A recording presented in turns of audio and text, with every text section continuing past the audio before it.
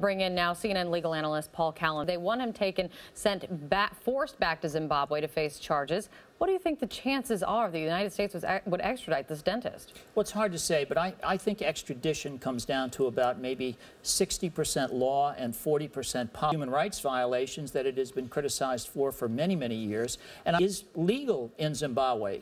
Believe it or not, I just got off the phone with somebody uh, who is a big guide. So um, whether the dentist knew he was taking a... He could face 10 years in prison is what David McKenzie says if, if he would head back